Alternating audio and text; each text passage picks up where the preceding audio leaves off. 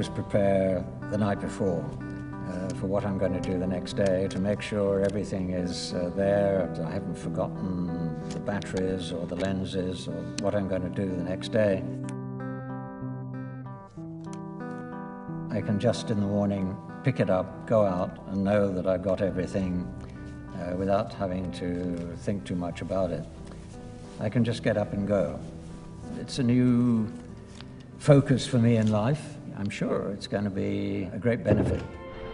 My name's Ian Berry. I'm a photojournalist.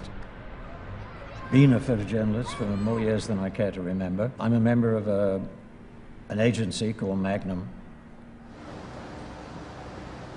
As a young photographer, there were a couple of possibilities. You either sort of join one of the magazines of the day, Life magazine, Paris Match, or you join Magnum, for me offered a much greater degree of independence. Um, you know, you're hired for what you do, or you do what you want to do yourself, rather than having to follow a political line of a magazine.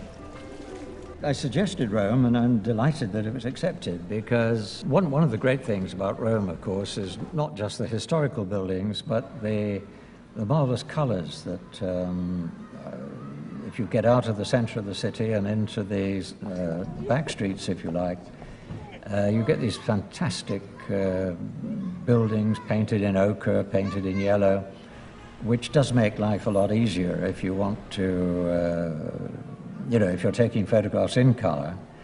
Um, it's much easier to photograph somebody, a girl going by, if, if the background is going to work because of the color, which maybe complements what she's wearing and you can put it all together into one shape. You won't find that in London.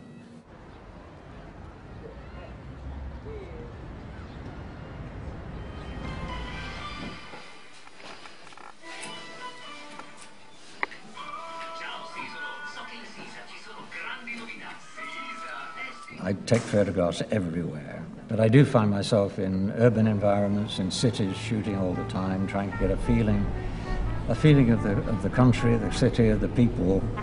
And for that, you, you know, you need a, you really do need a small camera. Uh, the beauty about this is that I can walk up, shoot, they don't hear me because the shutter's so quiet, and they don't see me, and I'm gone. So, you know, working on the street, for working on the street, it really is terrific. When I joined Magnum uh, to uh, meet up with Henri Cartier-Bresson, who was the doyen of uh, photojournalists at the time, although he never called himself a photojournalist. Uh, Henri taught me one sort of vital thing. If you're shooting on the street, you really need to move slowly because if you walk quickly and suddenly you see something you want to photograph and you stop, everybody is aware of the change of movement. So the trick is to move very slowly and when you stop, people just don't notice you.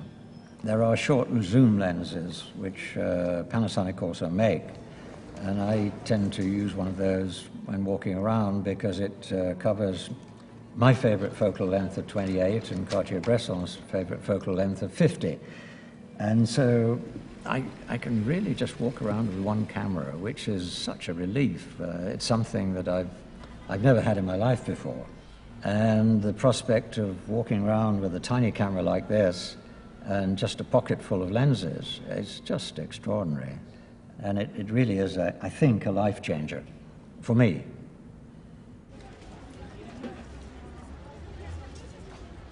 The, the, problem, I suppose, is that the light does at this time of the year get a bit high and a bit contrasty. It has an incredible dynamic range. Uh, it holds up the highlights brilliantly uh, when I would have assumed that they would have been lost, but also holds up the shadows. So you can work with this extreme contrast.